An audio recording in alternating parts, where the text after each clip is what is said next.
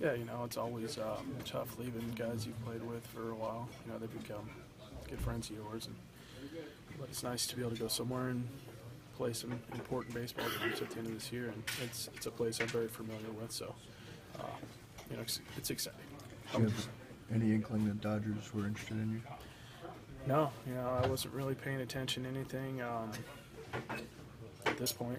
You know, I knew obviously anything could happen at any time, but I wasn't. It wasn't really on the top of my mind. How would you sum up your year and almost two years here? You know, I guess depends how you look at it. I enjoyed every minute of, minute of it. I, the guys on the team and the coaching staff, everything was great. I wish we would have won more games, uh, obviously. Um, but b- besides that, I, I couldn't enjoy the time any, any, anymore in Minnesota and in, you know, in this organization. How exciting is it though to get into a pennant race like this?